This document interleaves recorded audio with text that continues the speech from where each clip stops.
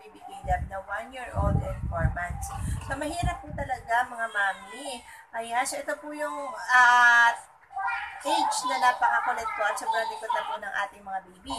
So, katulad po na nangyari kay Baby Caleb, guys. So, isi-share ko po sa inyo yung nangyari sa kanya na bagay na hindi talaga maiiwasan. Kaya kailangan po natin talaga tutukan ng ating mga baby, lalo na sa ganitong edad. So,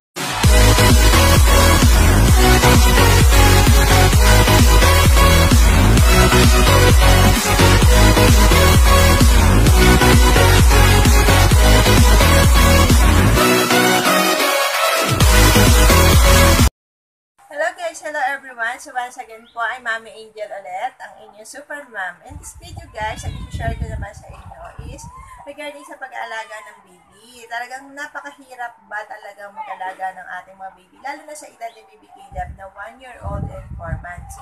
So mahirap po talaga mga mami. Ayan, so ito po yung uh, age na napakakulit po at sobrang likod na po ng ating mga baby. So, katulad po na nangyari kay baby Caleb, guys. So, isi-share ko po sa inyo yung nangyari sa kanya na bagay na hindi talaga maiiwasan. Kaya kailangan po natin talaga tutukan ng ating mga baby, lalo na sa ganitong edad. So, once again po, kung bago ka sa channel ko, welcome to my channel. At syempre, don't forget to subscribe and click the bell button para ma-notify ka sa mga susunod na video. Ayun na nga guys, eto na yung isi-share ko sa inyo. So si Baby Caleb kasi po, tinan niyo po itsura niya today. Ayan, baby, look. Ayan, so busy-busy po siya. Ang dami pong baka si Baby Caleb kasi talaga hindi po maiiwasan na nadadapa ang ating mga baby. So, kahit ano pong alaga natin, kahit ano pong ingat natin, talagang may sumasablay at may sumasablay.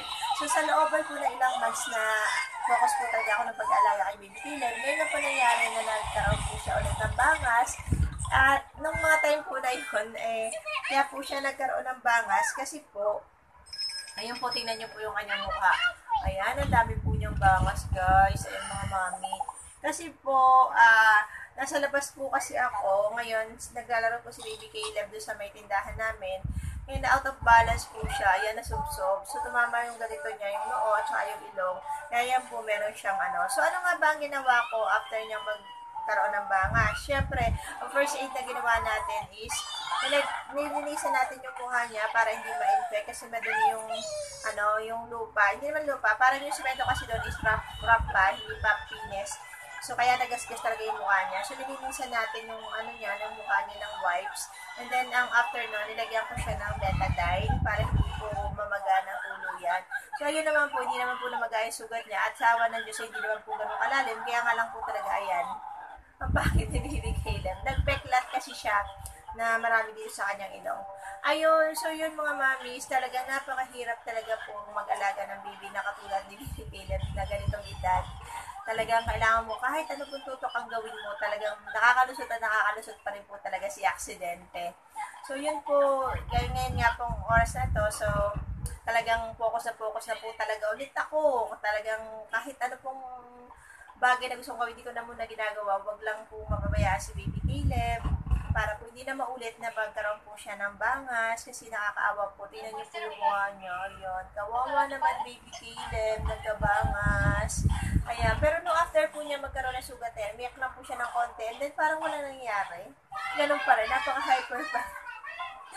so yan, busy-busy po siya. Hindi po siya nakikialam sa atin. kasi nanonood po siya.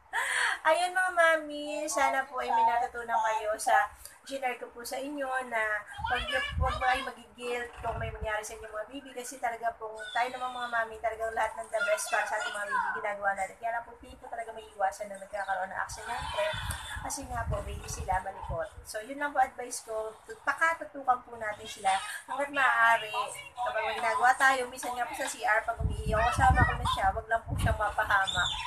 Ayan, so once again po, ako po ang inyong super mom, Mami Angel. Always saying, do our best and God will do the rest. Thank you for watching, guys. See you on my next vlog. Bye, baby. Bye. See the camera, baby, oh. Oh, tingnan mo, oh. Bye daw, bye, baby, oh. Bye. Say hi, baby. Say bye. Bye. Ay, busy po siya. Ayaw po niya. So, thank you for watching, guys. See you in my next vlog. Bye.